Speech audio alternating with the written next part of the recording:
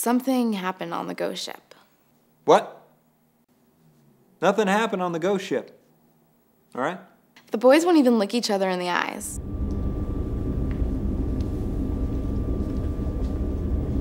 Aside from a successful research and recovery mission, we were able to gain a multitude of useful information, all of which is currently classified. No, nothing weird happened.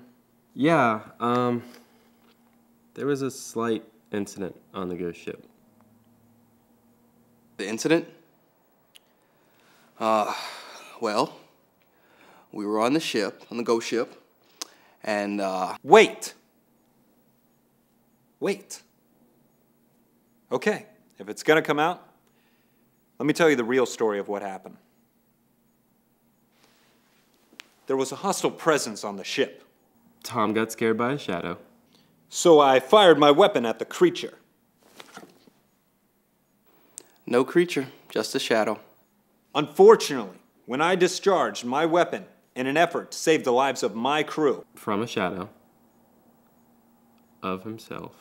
Uh, unfortunately, I hit the environmental control device.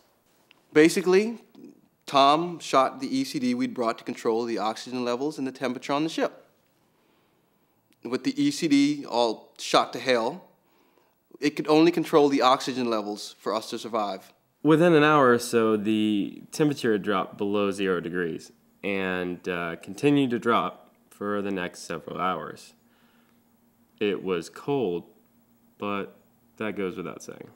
Because of my brave exploits, we once again found ourselves in a life or death situation. With our transportation module still two hours out, we did what was necessary to survive. Um, so then Patrick had an idea.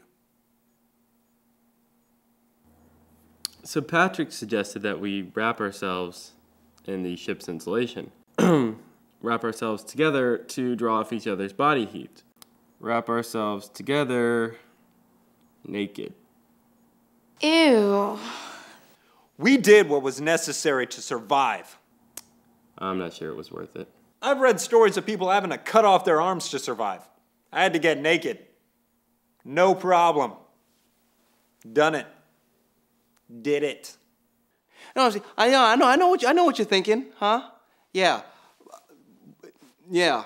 Okay, but when you can't feel anything downstairs, okay, it's it's it's not about homosexuality. It's about the basic human need to survive. Hey, look, if it meant saving my life, I'd get naked with any one of you. Can we not use that last part? The bottom line is that the mission was a success. Whatever long term emotional damage incurred is secondary. So let's just forget about the whole thing and look forward to the future. I need a drink.